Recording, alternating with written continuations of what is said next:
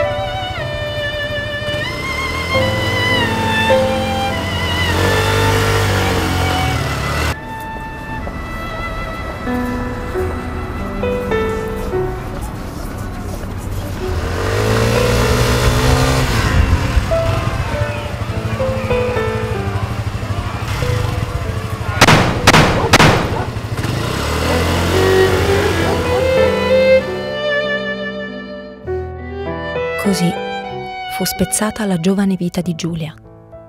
Sembrava un episodio come altri, un triste dolore da portarsi dentro.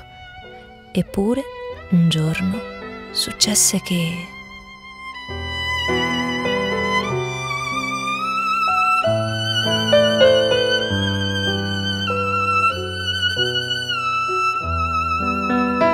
Quel dono così semplice, ma pieno d'amore, era il segno che Giulia non era stata dimenticata.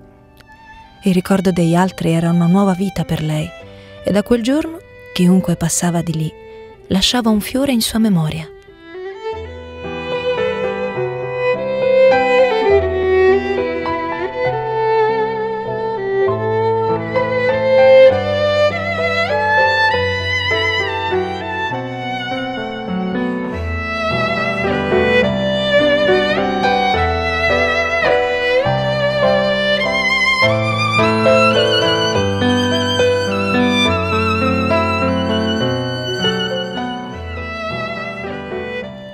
Purtroppo, col passare del tempo, le persone cominciarono a dimenticarsi di lei.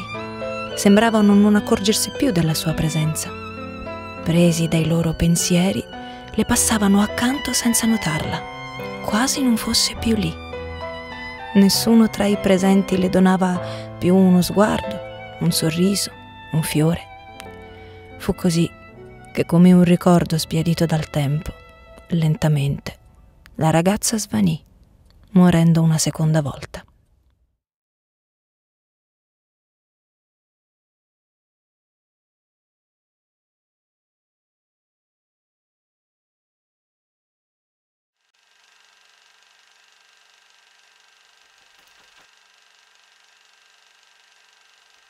Spesso dimentichiamo troppo facilmente ciò che è accaduto.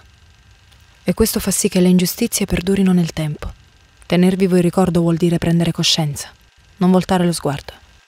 Conoscenza e memoria sono il primo passo per riprenderci il nostro futuro.